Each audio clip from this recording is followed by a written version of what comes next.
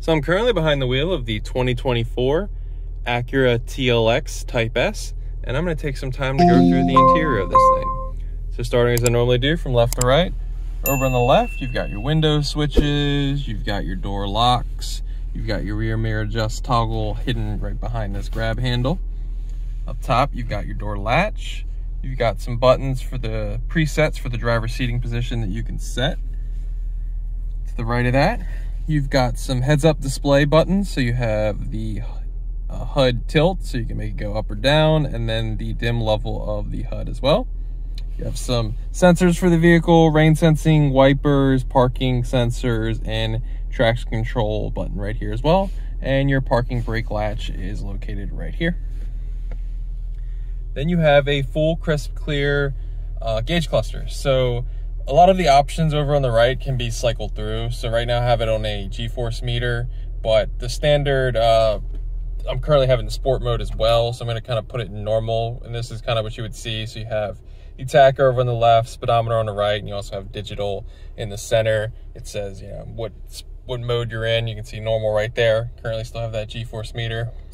Then you also have comfort, which kind of knocks out all the gauges and just kind of, you know, the only information you need, which is the miles per hour and whatever little settings you put over to the right. But then when you get into sport, you can see you get the boost gauge over on the left and uh, the tach up top and a speedometer gauge, you know, tied with that just digital number right there. And then there's also a sport plus mode, which you have to turn and hold it.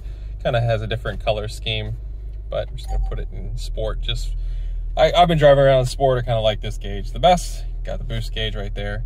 Um, everything you need.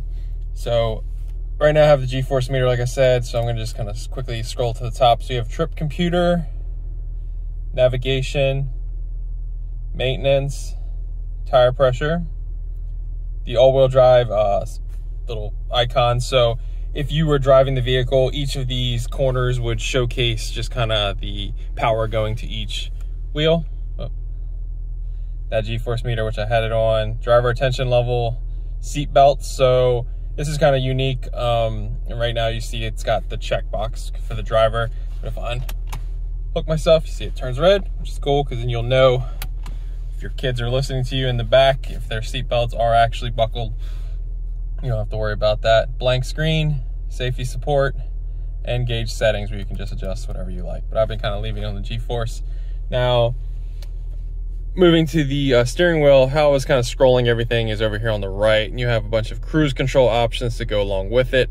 Over on the left, you've got, you can control the power of it, um, of all the, the settings. But you have volume control, this is a tuner knob, menu, and back for the heads-up display options as well. On the back of the steering wheel, you have paddles for selecting your own gears. So you have down and up gears. Give you a better look at the steering wheel, which features nice Type S branding on the bottom. The engine start stop button is tucked low behind the steering wheel. And then you have the navigation display. So this is kind of the main menu showcasing uh, all the different app bubbles as I call them. So you have navigation, phone, um, Sirius XM, uh, FM radio, Apple CarPlay, Android Auto, uh, smart shortcuts, system updates, Bluetooth audio, USB audio, AM radio, Alexa, AT&T hotspot, ambient lighting, settings, AcuraLink, and then just messages on the end. Now this is not a touchscreen, I'm adjusting the options from the center console and I'll showcase how I'm doing that when I get to it. But those are just the different options that you can play with.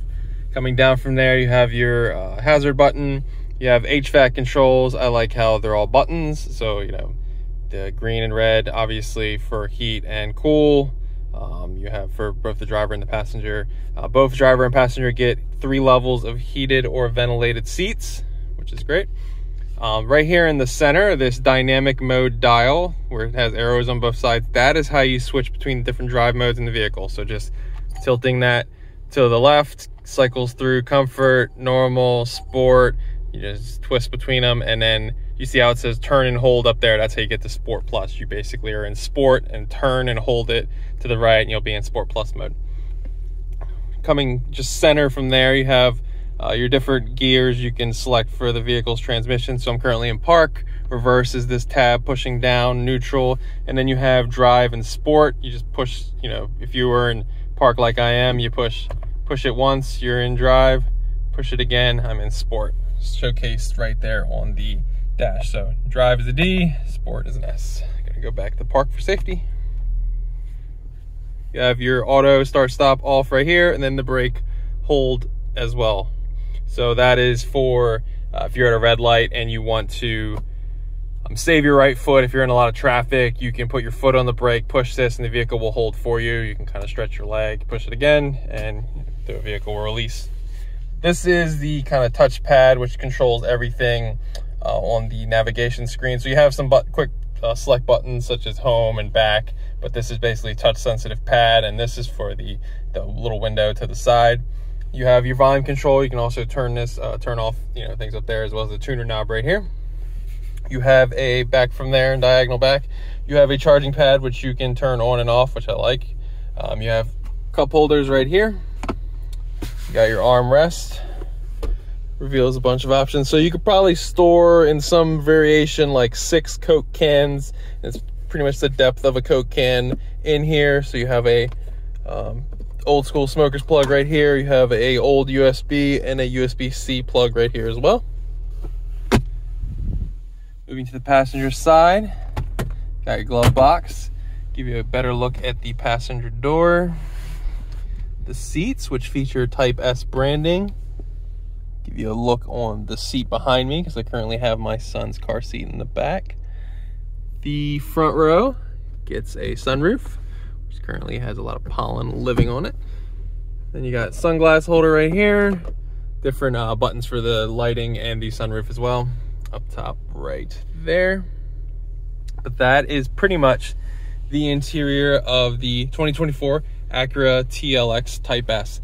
If there is a feature or detail button that I didn't go in depth enough along, uh, in the video, uh, be sure to leave a comment or question in the comments below. Do not feel if you stumble upon my video in you know two or three years because these are popping up on the used car market and you know your, your, vehicle didn't come with a manual or something like that don't feel like any of your questions are a little you know old or should have been answered somewhere i'm finding a lot of my videos are getting new life on the used car market so do not you know if you stumble upon this and it is 2028 uh, you know and you have a question be sure to leave in the comments below. I'm sure i can uh, get you an answer or point you in some direction. But other than that thanks for watching